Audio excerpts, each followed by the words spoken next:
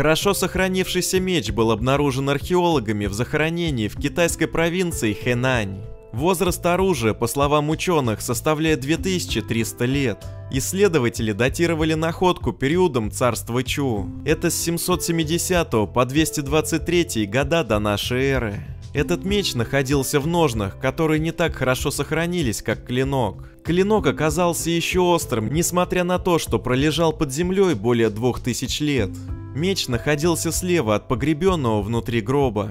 Кто был похоронен в захоронении, пока неизвестно. По словам китайских археологов, столь хорошая сохранность оружия связана с тем, что гробницы периода царства Чу обычно хорошо изолировали от внешнего мира, что препятствовало проникновению кислорода.